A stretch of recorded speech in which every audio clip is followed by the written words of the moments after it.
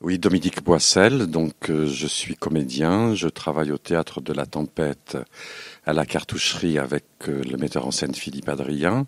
Je suis enseignant à l'université de Nanterre. Et depuis longtemps je m'intéresse à la question de l'acteur, la façon dont ce problème peut être réfléchi, la façon dont notamment Stanislavski puis et Louis Jouvet l'ont formulé. Je pense qu'il y a des des formulations contemporaines à trouver en prenant appui sur ces grands aînés, euh, parce que le jeu reste un mystère, le jeu reste une énigme, et que euh, chaque génération, dirais-je, a lieu d'en donner sa définition.